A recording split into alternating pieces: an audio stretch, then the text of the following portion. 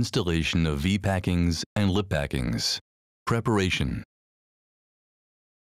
For a successful installation of the seals, please note the following.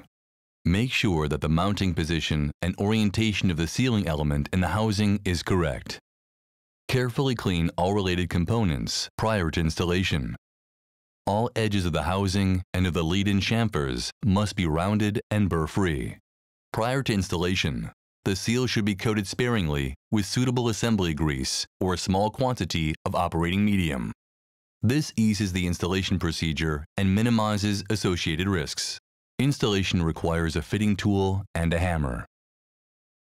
The fitting tool should be slightly rounded and should follow the inner contour of the seal without cutting into it. If available, suitable half shells with a manually controlled hydraulic hoist may also be used. Prior to installation, measure the height of the complete packing set at several positions. While measuring, firmly press the upper ring with the heel of your hand downwards to avoid clearance. The average value, minus 2%, equals the dimension L of the housing. Adjust the length of the housing to equal this L measurement by choosing appropriate gland shims. Cutting to size of each component. V-packings with an inner diameter of up to 400 millimeters are supplied ready to use to fit the nominal diameter. V-packings with diameters above 400 millimeters have an oversized circumferential length and must be cut to size before installation. The cutting must be done with a knife. The use of a saw would not lead to a smooth cutting surface and is therefore not permitted. The seal kits must be cut to the specified size directly prior to installation. Extended storage times of ready-cut seals under unfavorable climate conditions may adversely affect the correct functioning of the V-packing kit. In line with the installation sequence, start the procedure with the bluntly pre-cut support ring. This ring needs to be cut in a way that provides an undersized circumference so that after mounting, it can center itself in the groove of the V-ring. To do this, place the support ring around the plunger in such a way that the ends overlap. Mark the excess length on one side and cut the ring to size at an angle of 90 degrees. During the determination of the cut marks, the support ring is situated tightly around the plunger. However, the actual working position of the support ring is centered within the V-ring, detached from the plunger. This dilation automatically creates the necessary circumferential undersize of the ring. Once installed, there is a small gap between the ends of the ring. The pressure ring, in all V-rings on the other hand, must be cut in a way which provides some extra circumferential length.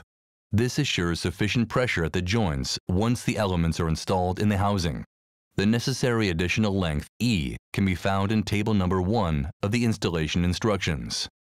To proceed, take an open V-ring, which is pre-cut at an angle of 60 degrees, and place it firmly around the plunger so that both ring ends overlap, forming an upper end and lower end of the ring.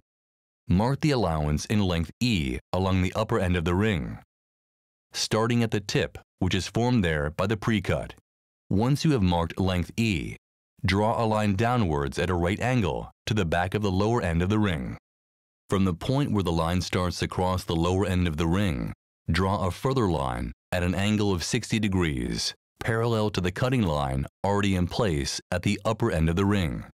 When cutting the lower end of the ring, take care that the cut edges mate without any gaps while taking the bending radius of the installed position into account. Repeat this procedure with the remaining V-rings and the final pressure ring. Please ensure that the necessary length allowance is always added.